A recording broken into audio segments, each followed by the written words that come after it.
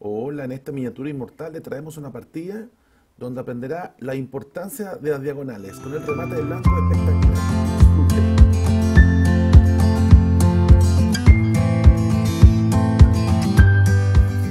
Hola amigos ajedrecistas, espero que estén bien en casa, cuidándose, descansando, disfrutando de la familia y ya sabe, si sale mascarilla y distancia. Y aquí en Chestur les traemos ajedrez, una miniatura con un golpe pero fantástico. En una partida jugada en Moscú en 1947 con Blanca Chulkov y con negras Gayman. Y antes de ir a la partida, no olvide suscribirse, apretar la campanita, invitar a sus amigos a suscribirse también a Chestur. Usted sabe que eso nos motiva, nos alienta, nos estimula a traerle más ajedrez. Y si puede apoyarnos como un patrón o en PayPal, bienvenido, todo ayuda. Vamos a esta partida entonces donde las blancas parten con E4 y rápidamente vamos a mostrar una defensa Carocán con C6 en la línea principal de 4 de 5, caballo C3, peón por peón. Caballo por peón. Aquí claramente es la línea principal de la Carocán. Algunas variantes, pero usted puede practicar más teóricamente viendo la línea B15.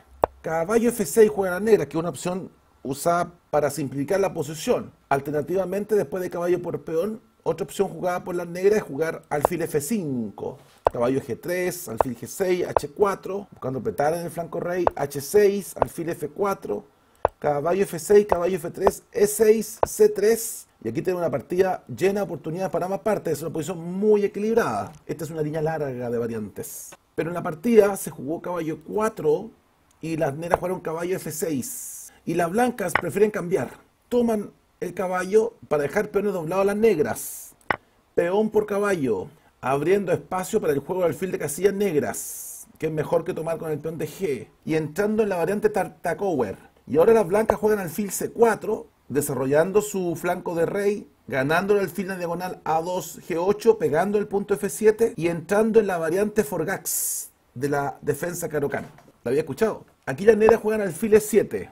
Aunque es una jugada natural, está facilitando el enroque negro, es un pequeño desliz, una sutil Debilidad. Después del alfil C4, parece mejor jugar alfil de 6, sin miedo a que la dama vaya a E2, dando jaque porque está la dama, ¿no? La dama puede contrarrestar. Entonces, si dama 2, dama E7, dama por dama, rey por dama. C3, alfil F5, caballo 2, caballo D7, alfil F4, cambiamos alfiles, caballo por alfil, G5, caballo H5, alfil G6, caballo G3. Tengo una partida equilibrada con las blancas con solamente ventaja de apertura, pero se ve una posición pareja. El único tema de las negras es este peón doblado, que no es un tema fácil de explotar.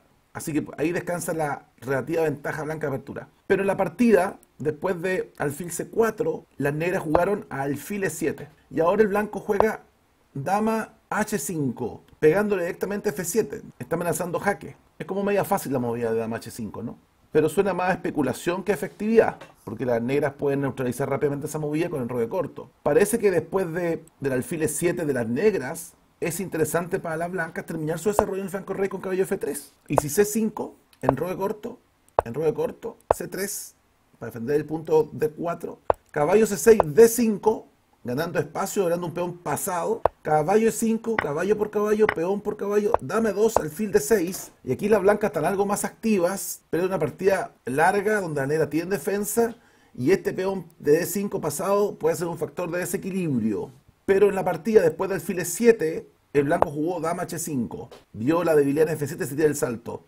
Y aquí las negras jugaron en roque corto, fácil. Simple respuesta a las negras, demostrando que la dama en H5 es más ruido que nueces. Las blancas siguen desarrollando su flanco rey, ahora están listas para enrocarse, con caballo de 2. Y las negras juegan G6, una movida que debilita la casilla negra de enroque y que permite explotar la posición negra. Todavía no se ve nada raro, pero va a ser causa de algunos problemillas. Dama F3, las blancas reubicando la dama, preparando mejores jugadas para sus piezas. Y ahora las negras juegan caballo de 7, que una jugada lenta, un poquito dudoso, pasiva esa jugada entorpece el juego negro, bloquea el alfil de casillas blancas. Después de dama F3, parece más preferir desarrollarse vía alfil de 6. Y si alfil H6, torre 8, enroque largo, enroque cruzados, señal de ataque violento contra el enroque.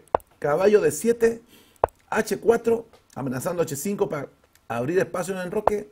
Caballo B6, alfil B3, A5. Y la partida equilibrada y de chances para ambos bandos en esta posición de enroques cruzados. Pero bueno, después de dama F3, el negro juega caballo de 7. Y ahora el blanco juega alfil h6, ganándose en diagonal, aprovechando la casilla negra y pegando la torre de f8. Y aquí las negras apuran y juegan torre 8 que es mala. Un error que cuesta la partida. Las negras ven fantasmas y sacan la torre de la amenaza de alfil.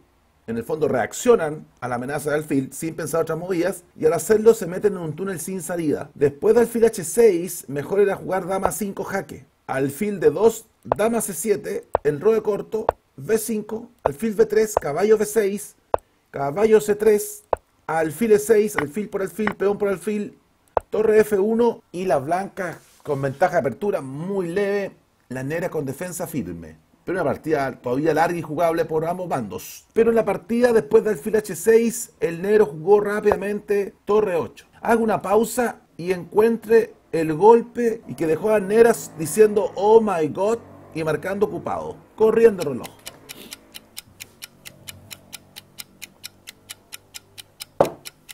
¿Sabe lo que jugó el blanco? Si la vio bien, si no, disfrute. Alfil por peón, jaque, gran golpe las blancas, aprovechando la debilidad del roque negro.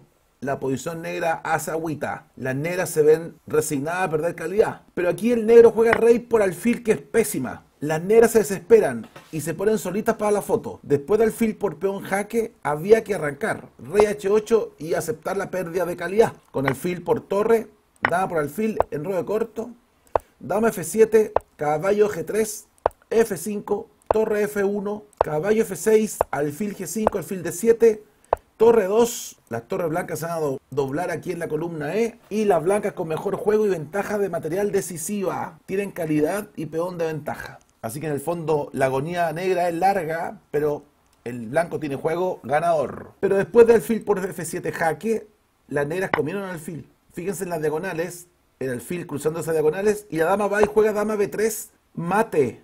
No hay defensa contra la movida dama B3. Pero fíjense cómo están cruzadas las piezas blancas, impidiendo cualquier escape del rey negro. El rey negro queda cruzado por las diagonales del alfil de la dama, como dos espadas sobre su cabeza. ¿Qué me dice? Gran remate las blancas. Por las diagonales venía el problema. Mate espectacular a la vista. ¿Qué me dice? Diagonales tomadas. Espero que hayan disfrutado la partida. Dejen sus likes, sus comentarios. Y nos estamos viendo en otra miniatura inmortal. Que estén bien. Chao, chao.